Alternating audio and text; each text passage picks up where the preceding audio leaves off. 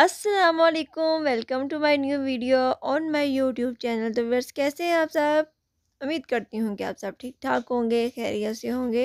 तो व्यूवर्स जैसे कि आपको पता है कि ईद की आमद आमद है और इस तरह के मौक़ों पर मदर जो है वो फ़िक्रमंद हो जाती हैं अपनी बच्चियों के ड्रेसेस को लेकर। अगर आपकी ट्विंस बेबीज़ हैं और आप चाह रही हैं इनकी ड्रेस जो मैचिंग की जाए, सेम ड्रेसेस बनाए जाए या आप चाह रही हैं कि कज़न्स का सेम ड्रेस बनाया जाए तो उसके लिए प्यारे प्यारे से डिज़ाइंस आइडियाज़ आपको चाहिए होंगे।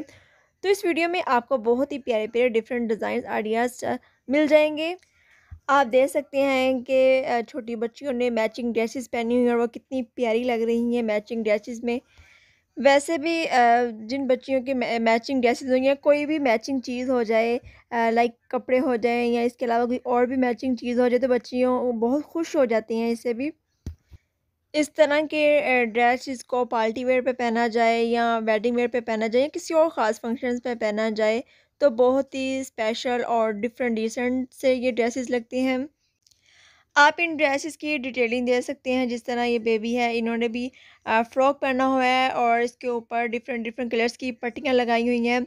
ज़रूरी नहीं कि बिल्कुल सेम डिज़ाइनिंग ही की जाए फैब्रिक सेम ले लें, लेकिन डिज़ाइनिंग्स में आप थोड़े बहुत डिफरेंट आइडियाज़ ले सकती हैं, कि डिफरेंट डिज़ाइनिंग भी कर सकती हैं।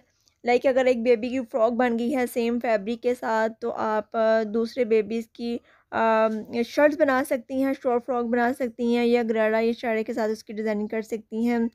जिस तरह आप इन बेबीज़ के बच्चियों के ड्रेसेस चेक कर सकते हैं, बिल्कुल सेम फैब्रिक है, सेम डिज़ाइनिंग है, जस्ट कलर के कलर का डिफरेंस है।